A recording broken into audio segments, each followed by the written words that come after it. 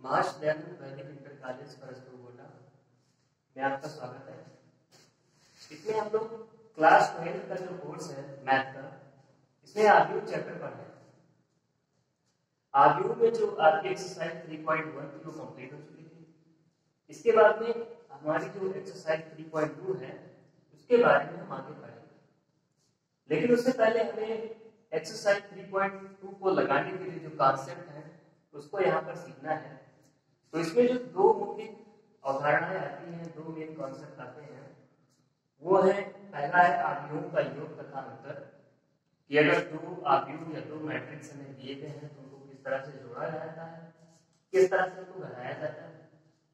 और जो दूसरा और सबसे महत्वपूर्ण कॉन्सेप्ट है आव्यूहों का गुणन। इस पर बहुत बड़े सवाल आते हैं। बहुत ज़्यादा सवाल आते हैं। मल्टीप्लीकेशन ऑफ़ मैट्रिक्स तो ये दोनों हमें इसमें पढ़ना है। उसके बाद में हम एक्सरसाइज 3.2 को लगाना शुरू करेंगे।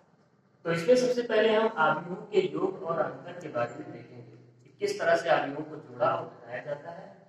उसके बाद फिर आप आव्यूहों के गुणन के बारे में पढ़ेंगे। तो पहला पॉइंट जो हमारा है, पहला टॉपिक आव्यूहों का योग तथा अंतर। तो इसमें मान लेते हैं हमारा एक आव्यूह है ए बराबर।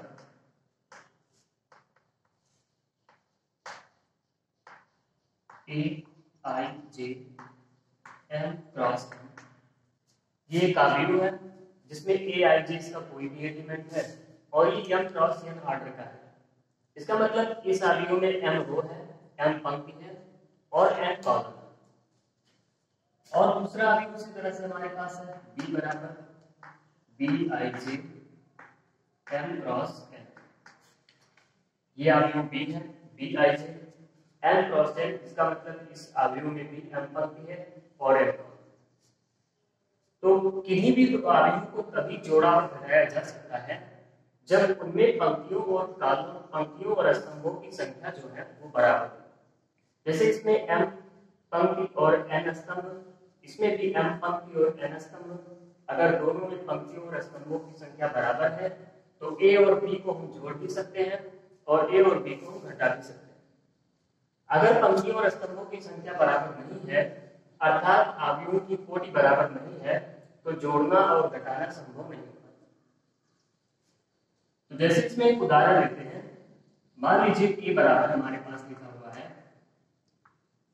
ये three two five minus three two six two five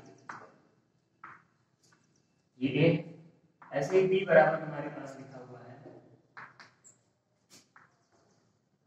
Three, two, one, six, seven, five, zero, minus two, और ज़ीरो।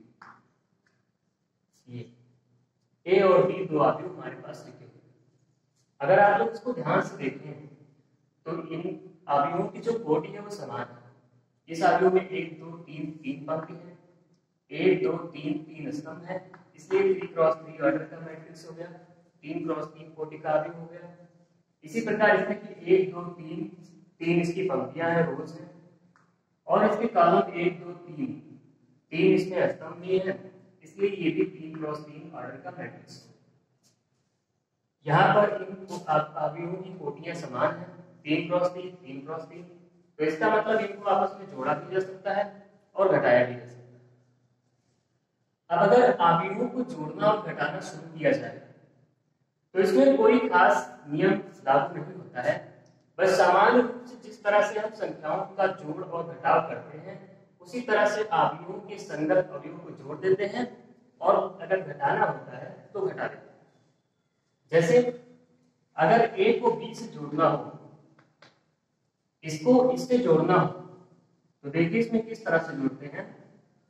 ए का जो पहला अवयव है इसमें, पहले रो और पहले कॉलम का अवयव तीन है।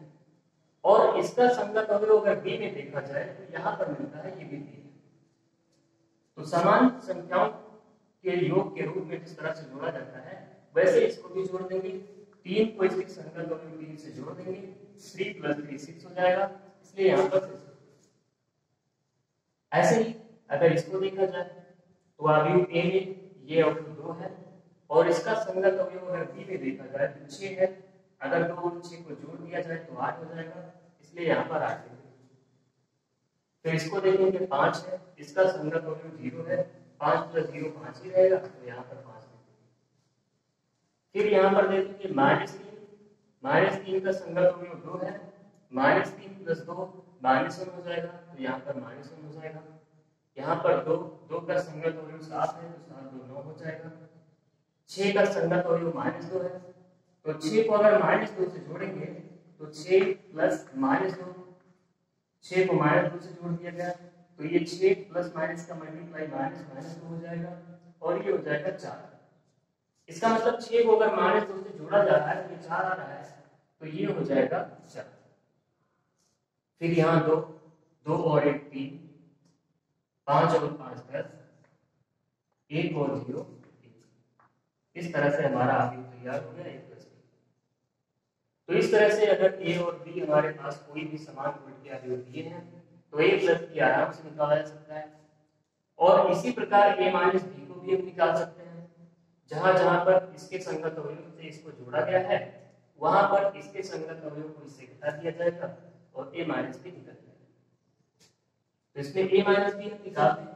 यही पर ए माइनस बी आप लोग यहीं पर देख लीजिए। ए माइनस बी देख लेते हैं। तीन है, यहाँ पर तीन है। ए माइनस बी निकालना है। ए से बी को घटाना है। तो तीन से तीन घट जाएगा, तीन से तीन चला जाएगा तो ज़ीरो बचेगा। यहाँ पर दो है, वहाँ पर छह है। दो में से छह को हटाना है तो दो माइनस छह हो जाएगा, और दो माइनस से जो होगा, वो माइनस चार ऐसे ही पाँच पाँच से ज़ीरो जाएगा तो पाँच ही बचेगा। यहाँ पर माइनस तीन माइनस तीन से माइनस दो निकाला जाना है। तो अगर माइनस दो से माइनस तीन से माइनस को निकाल देंगे तो ये माइनस फाइव हो जाएगा तो यहाँ पर माइनस फाइव देंगे। दो से हमें सात को निकालना है तो दो से अगर सात को निकाल देंगे तो ये माइनस फाइव आ जाएगा, और हम यहाँ पर माइनस फाइव फिर छह से माइनस दो को निकालना है तो छह से माइनस दो को हमें निकालना है तो ये हो जाएगा छह माइनस माइनस का प्लस दो, छह दो आठ हो जाएगा तो यहाँ पर हम आठ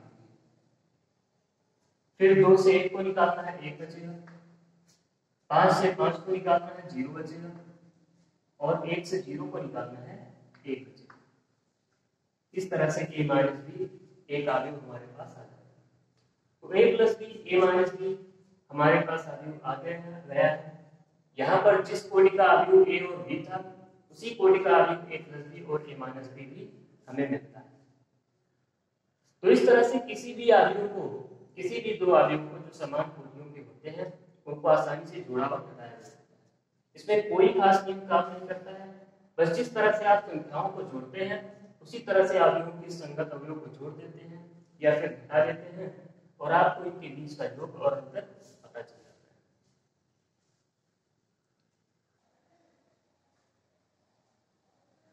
हम लोग इसमें आव्यूहों के योग के बारे में पढ़ चुके थे अब आव्यूहों के योग के कुछ गुणधर्म यहाँ पर आपको बताए गए हैं किताब में। यह आप लोग एक बार समझ आव्यूहों को योग करने पर कौन कौन से गुणधर्म कार्य करते हैं? आव्यूहों का योग आप लोग जान चुके हैं। पहला है क्रम विनिमय नियम ये क्रम विनिमय नियम क्या है? इसमें बताता है कि अगर कोई दो आव्यूह है आव्यूह ए और बी, दो आव्यूह आपके पास है। तो अगर आव्यूह प्लस बी जोड़ा जाए आव्यूह ए को आव्यूह बी से जोड़ दिया जाए तो ये जो होगा आव्यूह बी प्लस आव्यूह ए, ये दोनों आपस में बराबर होंगे। इसका मतलब चाहे आव्यूह ए को बी से जोड़ दो, या आव्यूह बी को ए से जोड़ दो, जो हमारा फाइनल आंसर आएगा, वो हमेशा समान होगा। क्रम विनिमय यही बताता है। या तो ए आव्यूह को बी से जोड़ दो, या बी से ए को जोड़ दो बात एक। ये दोनों आपस में बराबर दूसरा इसमें साहचर्य नियम या एसोसिएटिव लॉ एसोसिएटिव लॉ रहता है कि अगर आपके पास तीन आव्यूह हैं, इसको आराम से समझ लेते हैं। अगर आपके पास तीन अवयव हैं ए बी और सी तीनों अवयव समान कोटि के हैं तो अगर अवयव ए प्लस बी को आप जोड़ देते हैं, और इससे जो उत्तर आता है उसको आप अवयव सी से जोड़ देते हैं। ध्यान रखिए इस बात को। आपके पास तीन अवयव हैं। पहले अवयव ए और बी को जोड़ दीजिए। इससे जो उत्तर आए, उसको सी से जोड़ दीजिए। तो इसका जो फाइनल उत्तर आएगा, वो बराबर होगा A plus B plus C इसका मतलब या तो पहले ए प्लस बी को जोड़कर फिर सी से जोड़ो, या तो पहले ए को बी प्लस सी को आपस में जोड़कर तब ए से जोड़ो। दोनों में की प्रक्रिया में जो उत्तर आएगा, वो हमेशा समान आएगा। इस बात से फ़र्क नहीं पड़ेगा कि यहाँ पर पहले आप ए प्लस बी को आपने जोड़ा है और यहाँ पर बी प्लस सी को आपने जोड़ा ये दोनों एक ही चीज़ है। या फिर इन दोनों को जोड़ने के बाद में इसको जोड़ो, या पहले पीछे के दोनों को जोड़ने के बाद में इसको जोड़ो। बात एक ही है उत्तर सेम है। तीसरा नियम इसमें योग के तत्समक का अस्तित्व ये क्या होता है?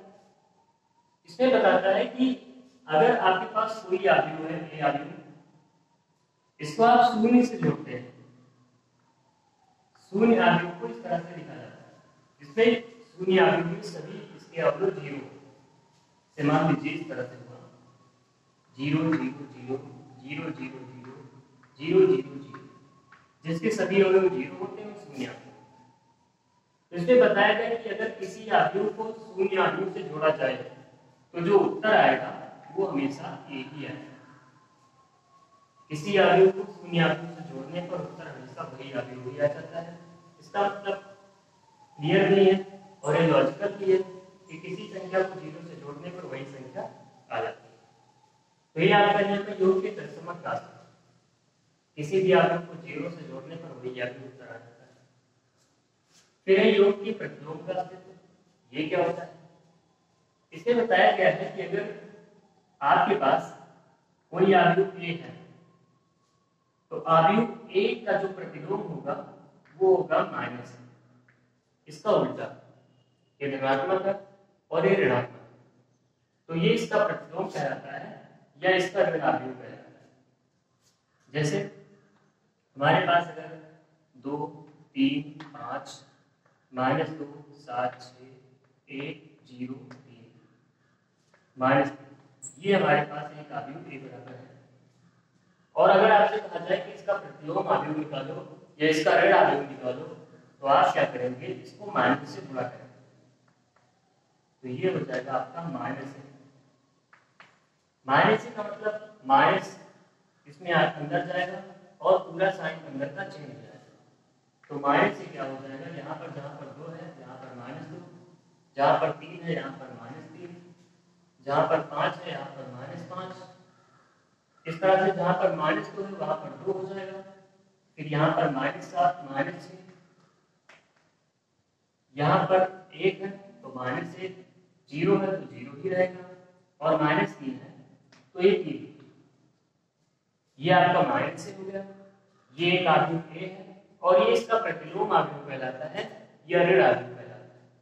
या तो ध्यान रखेंगे कि अगर आपसे पूछे किसी आदमी का प्रतिलोम आदमी या ऋण आदमी क्या होगा तो आप कहेंगे उसको माइनस से मल्टीप्लाई कर दिया जाए, अंदर के सारे साइन चेंज हो जाएँगे माइनस का प्लस हो जाएगा प्लस का माइनस हो जाएगा। तो जो आव्यूह माइनस से हमें प्राप्त होता है, वही इसका प्रतिलोम अथवा ऋण आव्यूह कहलाता है। ये। तो इस तरह से इसके चार नियम थे, चार गुणधर्म थे? किसी भी आव्यूह दो आव्यूह को आपस में जोड़ने पर क्या क्या होता है? आप लोग इसको किताब से विस्तार से पढ़ सकते हैं।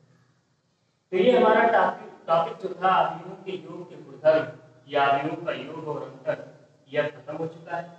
इसके बाद में जो हमारा अगला टॉपिक होगा, वो होगा कि किस तरह से आव्यूहों का गुणा होता है। इसको हम अगले टॉपिक में हम पढ़ेंगे। धन्यवाद।